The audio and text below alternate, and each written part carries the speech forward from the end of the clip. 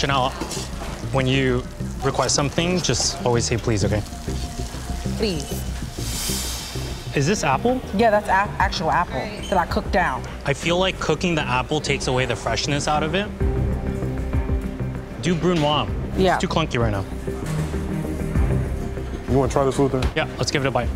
I want more tomato flavor. You just think it's too much? We need more tomato flavor. The amaranth is very green something and it takes away from wrong- the Something from the that I see wrong right now, you are critiquing the food a little too much for me. Luther is getting on my damn nerves.